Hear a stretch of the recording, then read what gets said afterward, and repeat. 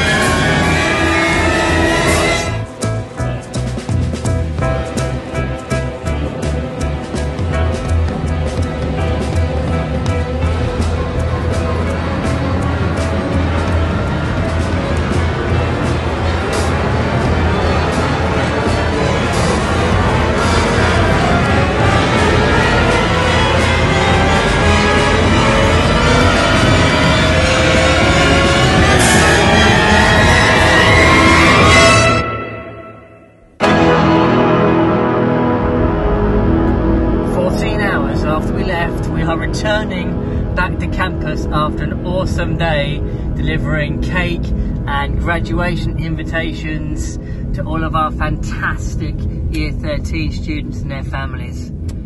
Thank you so much for sticking with us. We return home proud of you all.